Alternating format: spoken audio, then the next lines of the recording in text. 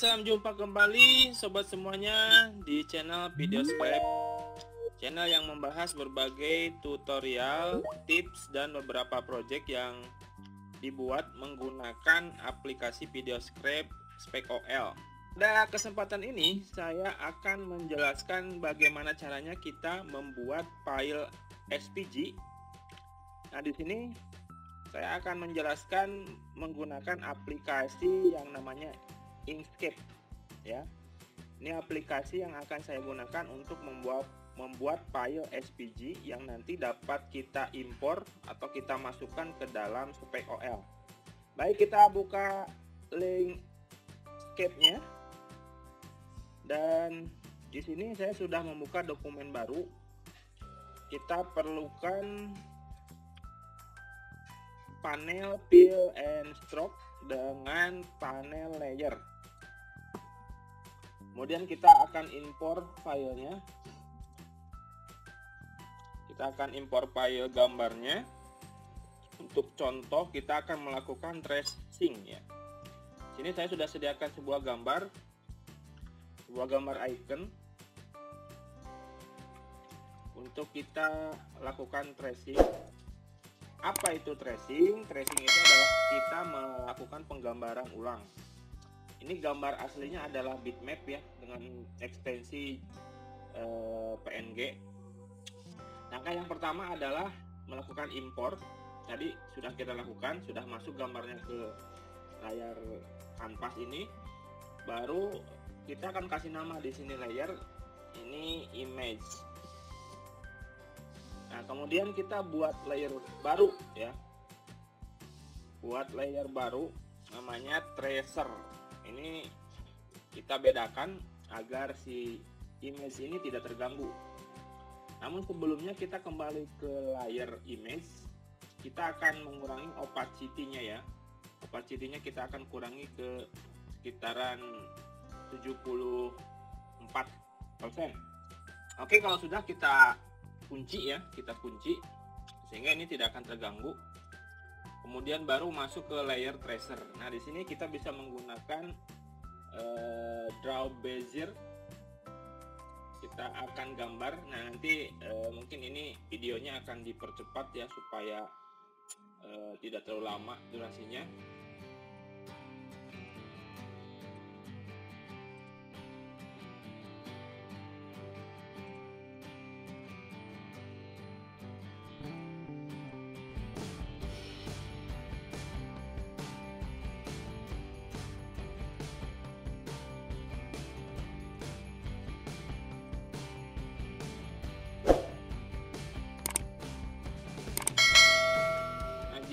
sudah membuat sebuah objek maka biasanya kalau saya untuk memperhalus ya menggunakan edit pad edit pad ya.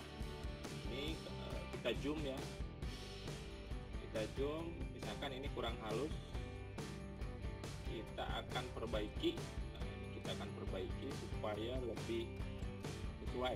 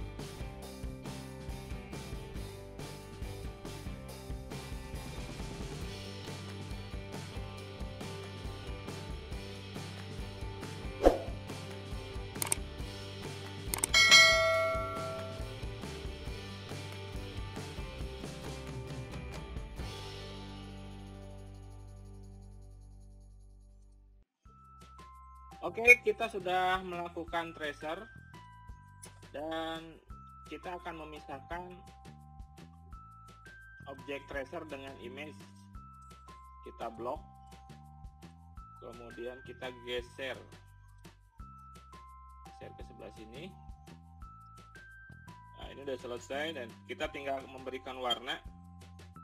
Untuk memberikan warna kita akan ambil sampel warna dari gambar aslinya, sehingga kita akan unlock dulu gambar asli.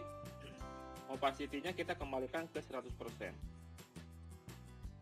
kita kasih warna dulu yang tengah ini warna di bagian fill warna putih ya. Warna putih. Kemudian bingkai yang bawah itu kita ambil saja menggunakan pick color. Kemudian yang ini putih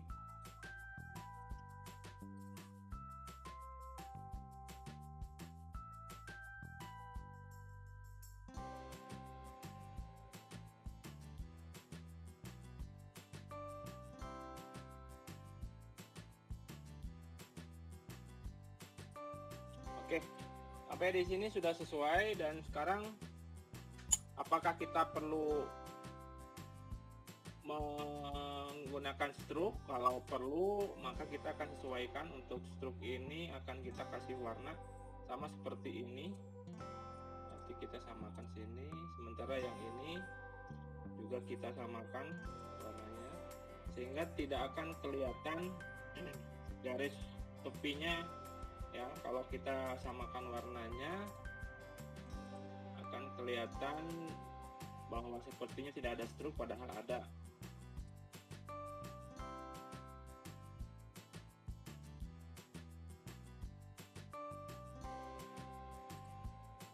Oke sudah selesai? Kalau sudah selesai kita kembali ke layar. Kemudian yang image ini kita hapus Nah, tinggal bersisa gambar yang telah kita tracer.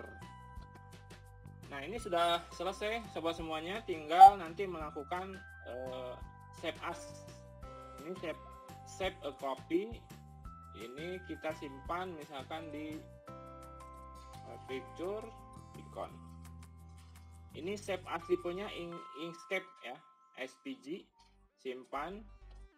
Kemudian baru kita buka video script buka video script buat dokumen baru klik add an image to the canvas pilih uh, icon ini icon ya open. Nah ini sudah selesai. Nah ini kita durasinya percepat ya misalkan sampai 4 second setting kamera play Bila ada yang bertanya tentang bagaimana caranya membuat arsiran dari warna. Jadi setelah outline setelah outline dibuat, bagaimana caranya agar warnanya juga ada animasi seperti ini ya, animasi seperti menggambar outline. Nah, sudah sudah saya jelaskan pada video sebelumnya. Silakan bisa dicari di channel saya. Sudah ada penjelasan tentang itu. Uh, ini di sini saya hanya akan menjelaskan tentang bagaimana cara membuat file SVG di uh, aplikasi Inkscape ya. Jadi seperti itu. Jadi caranya tadi saya adalah apa gambarnya yang akan kita tracing ya seperti tadi ini gambarnya awalnya adalah bitmap kemudian kita impor ya kita impor ini gambarnya kita impor ke sini ya ke dalam kanvas dari Inkscape. Nah, ini adalah gambar asli, ini adalah gambar hasil tracer ya. Ini kita kita bisa lihat bahwa gambar hasil tracer apabila diperbesar, maka dia tidak akan pecah ya, semua semuanya. Oke, jadi itu saja mungkin penjelasan dari saya tentang membuat file SPG dari awal hingga tadi penjelasan akhir pada aplikasi Inkscape. Semoga bisa bermanfaat dan jangan lupa klik tombol subscribe. Ya, tombol like-nya diklik juga. Ditunggu komentarnya apabila ada hal yang mau ditanyakan. Sampai jumpa pada video berikutnya.